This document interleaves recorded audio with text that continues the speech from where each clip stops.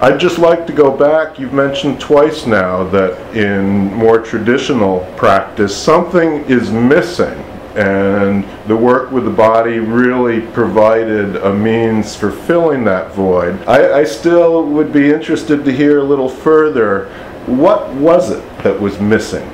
Well, it was a it was a connection with the organism, the body, and and then as as uh, went on, he he realized that it wasn't just the body, but it was aliveness, aliveness in the body, and that led him to develop the whole aspect which we focus on so much now of the vibrations to get the legs vibrating while we're grounding and to discharge the energy that way and as a matter of fact, in the exercise book that uh, Dr. Lowen wrote with his wife, the title is The Way to Vibrant Health. So by that time, he was already very aware of the importance of vibrations. And later on in his talks with me, he said that in addition to the grounding and the work with the legs and, and connecting to the ground, that, that the vibration was extremely important.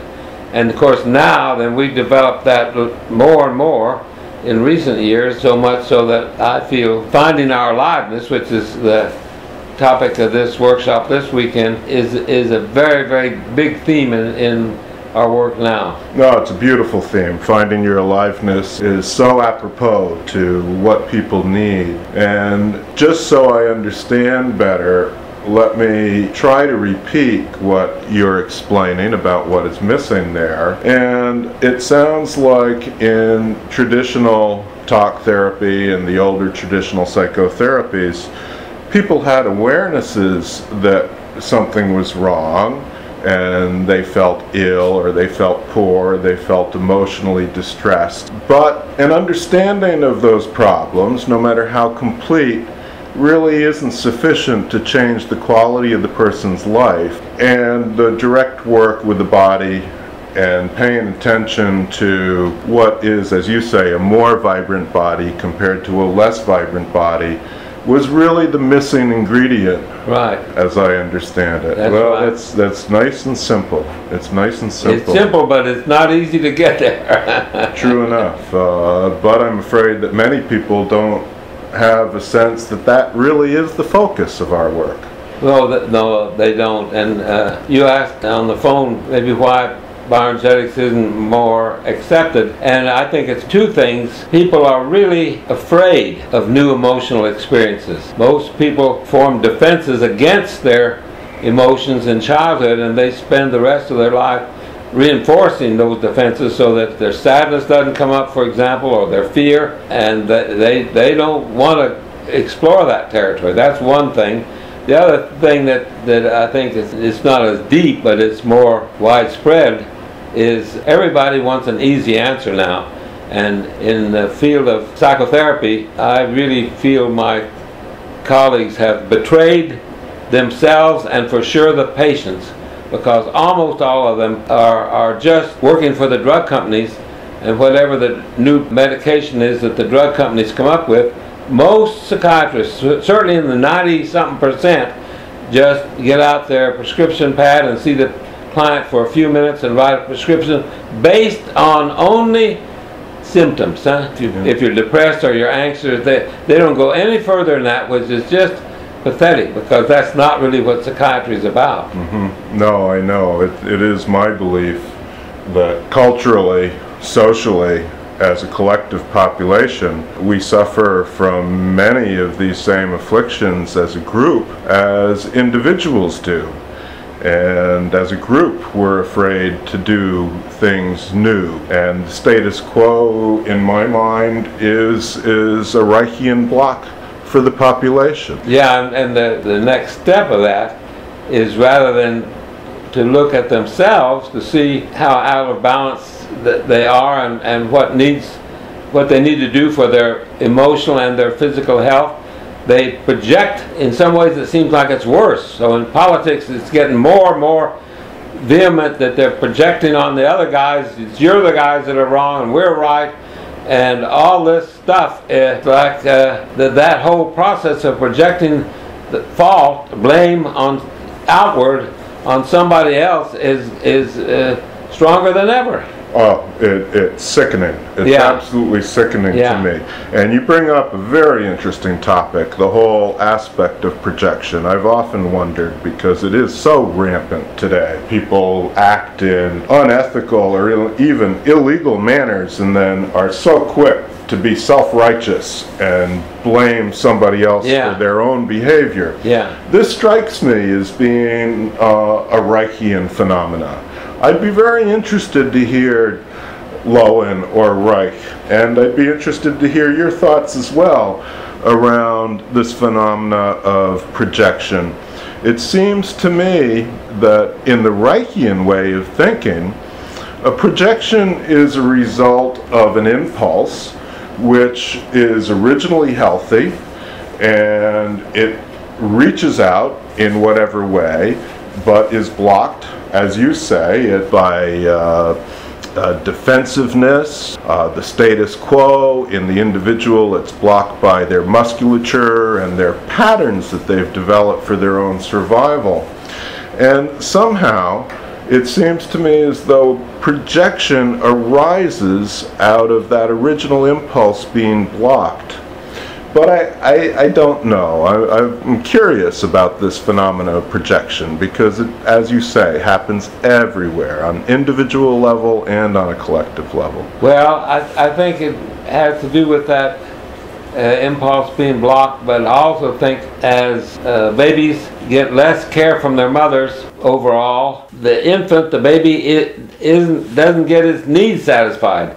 Either either the need to be fed from the breast or the need to be held. Most Aboriginals breastfed their babies two or three years, and they certainly carried their babies with them all the time. The babies were with the mother absolutely 24 hours a day in a in a sling uh, in in front or that papoose kind of thing in the back. They they carried their babies while they worked in the fields. What they went in the canoe, whatever they did. So the the infant had its contact needs and its nourished needs met, which is so important because in humans the baby is born about half developed and needs that contact and nourishment in a natural way to complete its development. Whereas a calf, uh, when it's born, can get up, stand on its feet, and nurse and follow the mother around. Well, it takes years for uh, human babies to get to the point where they can walk around and find their own nourishment. So when that those basic needs are not met, people are always have have a great tendency to they may not know what the trouble is, but they know they didn't get what they wanted and needed, and so that there's a tendency to feel somebody must be at fault, and then that it's very difficult to for children to blame their own parents directly when they're little because they're so dependent on them. So they learn to blame other factors or other people or other events for their uh, needs not being fulfilled. So I think this whole projection thing is getting worse all over the world probably as this as the babies are not cared for like they biologically need to be. Well, that that's very interesting, Frank. I'm glad we explored that a little bit because, as you say, projection is uh, is a rampant thing, and the recognition of the importance of contact in early child development. These these are examples of how I feel the work that my dad Dr. Lowen did with bioenergetics is not only valuable in the area of psychotherapy, but it's very important in the area of sociology and how uh, how our culture operates with us as individuals. And I think you're absolutely right, Frank. Little children oftentimes, uh, even even cared for by devoted moms, moms who are really trying to do a super good job.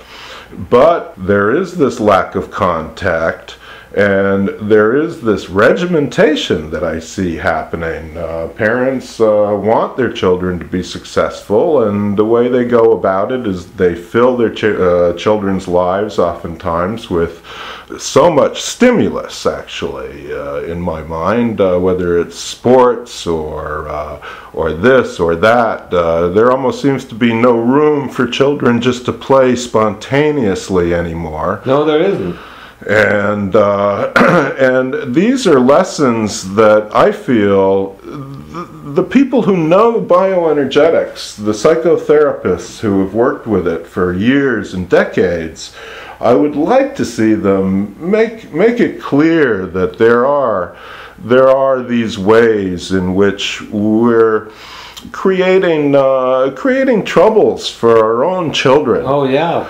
And, and this is something that I believe that bioenergetics can, can certainly help with. Well, it could help with, because it, we certainly know about it. Uh, the, there is some move now to, to get, get children to play, which is a strange, strange thing, because you very, very seldom see children playing by themselves, and that's only way children can play is by themselves, not, not little league or organized soccer, because those are performance thing. They're already performing and trying to win, and play is something that comes spontaneously from the organism, and little kids run around and, and twirl in circles or tumble on the ground or whatever, which is partly what the organism needs to develop.